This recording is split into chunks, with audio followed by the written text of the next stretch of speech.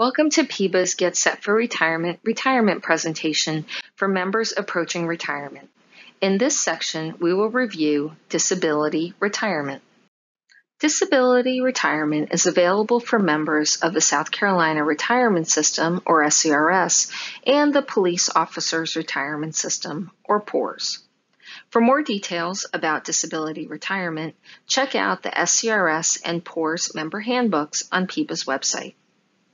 Becoming disabled does not automatically qualify you for a disability retirement benefit. You must file an application and go through the review process.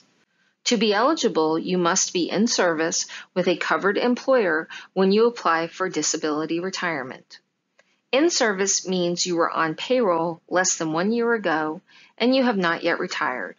Or for SCRS, you have not been retired for more than one year. If PEBA does not receive your application while you are in service, you will not be eligible for disability retirement. In addition to being in service, you must also meet certain earned service requirements to apply for disability. If you are a Class 2 member, you must have at least five years of earned service credit unless your disability is the result of a job related injury. If you are a Class 3 member, you must have at least eight years of earned service credit unless your disability is the result of a job-related injury.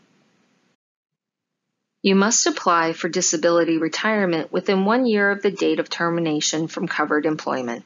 If you are an SCRS member, you must also be approved for disability benefits from the Social Security Administration to receive disability retirement from PEBA.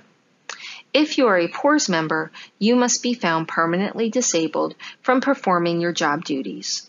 The determination to approve or deny your disability retirement claim is made after review by a medical board of three physicians. You cannot apply for disability retirement in member access. The necessary forms are located at peba.sc.gov/forms.